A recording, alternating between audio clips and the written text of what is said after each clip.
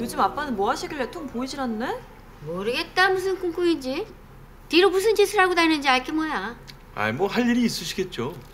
할 일은 뭔 할 일? 어, 참 엄마 이번에 바자회 내놓을 목걸이 골라놨다고 하지 않았어? 어 그랬지 아 잘됐다 온 김에 가져가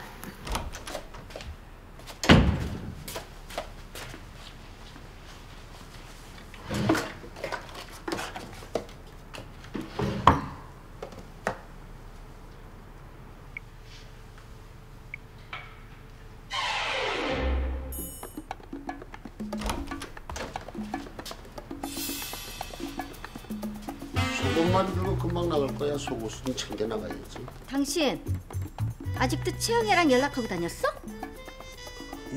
무슨? 당신 미쳤구나. 이제 술 마시는 것도 모자라서 대놓고 바람을 피겠다. 어, 여보, 어, 그게 아니라 무슨 오해가? 그럼 이건 뭐야? 오해인지 아닌지 내가 직접 걸어볼까? 아니, 어, 아, 여보, 절로 안 가? 하지 절로. 아이, 비켜! 네, 네. 어디서 아이, 하지 말어. 간다니까 하지 마. 꼴보기 싫으니까 나가. 그렇게 채영이가 좋으면 그 여자하고 살림을 새로 차리든지 나가라고. 아니, 여보. 어딜 만져 어딜. 아, 아, 아, 아, 아, 아, 내, 내발 꺾어줘. 아, 아, 아, 아, 때리고 만져. 몇 번째야? 지금 몇 번째냐고? 어? 이- 야, 난 살려줘. 어딜 도망가 인간아 인간아 어딜 도망가 어딜 왜? 장모님 어? 왜 그러세요? 왜 이래 왜?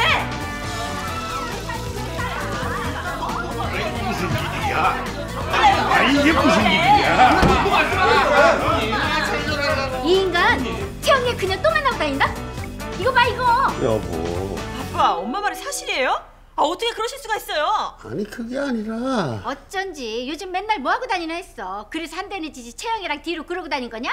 당장 짐 싸서 나가 다시 기어들어올 생각하지도 마 이제 끝이야 이거 이런 못난 놈이 이거 이놈 이거 당해도 싸. 당장 나가 나가라고 장모님 장모님. 잠깐만요. 뭔가 오해가 있는 것 같은데요. 준혁이 네가 나설 자리가 아니야. 아니요. 아버지 핸드폰 좀 줘보세요. 핸드폰은 왜? 잠깐만요. 왜 그래, 그러는데? 저놈? 보세요. 제 연락처에도 최영애란 이름이 있죠. 제 핸드폰과 아버지 핸드폰에 모두 최영애가 있어요. 이 최영애는 어머니가 말씀하시는 그 최영애일까요? 어? 이게 뭐라는 거야?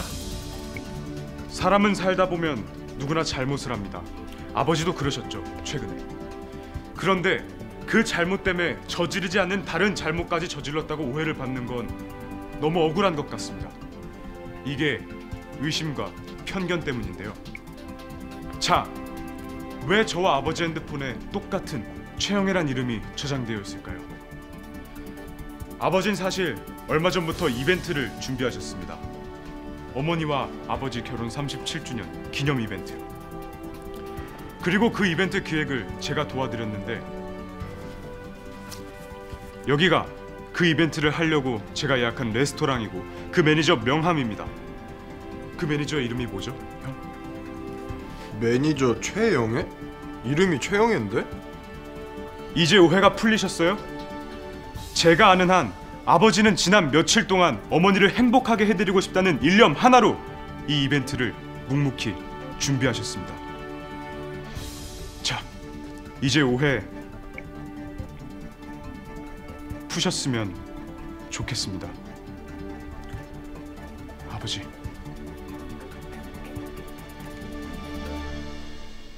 내가 오해했나 보네 잘 알지도 못하고 막 꺾어서 미안 아, 진작 말하지. 너도 참 이게. 내가 무슨 말을 해도 믿질 않는데 무슨 말을 해요?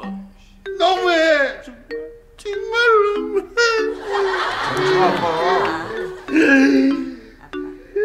야 막내처럼 다시 봤네. 변호사는 내가 아니라 막내처럼 해야겠어. 변론 너무 잘하던데. 어, 논리정연하고 감동적이고. 원래 우리 집안이 똑똑하잖아. 나보고도 몰라? 알지. 당신을 보고 어떻게 그걸 모를 수가 있나. 진짜. 오늘 준영이가 다시 보이긴 하더라. 막내라 어리게만 봤는데. 그러게. 대중의 마음을 휘어잡을 줄 알더라니까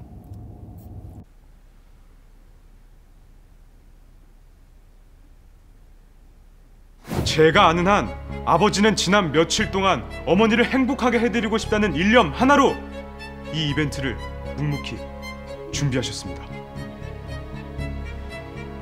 자, 이제 오해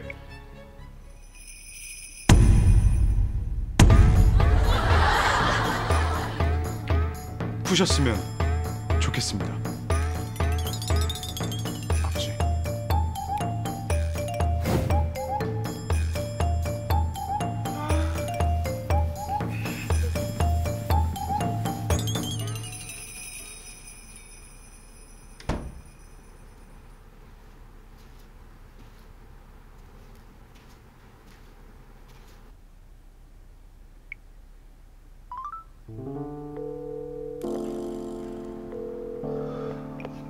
아 여보세요?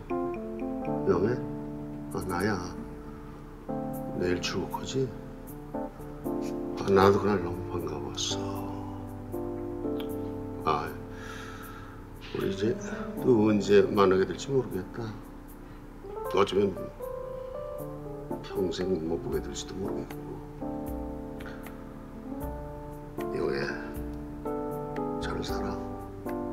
꼭 행복해야 돼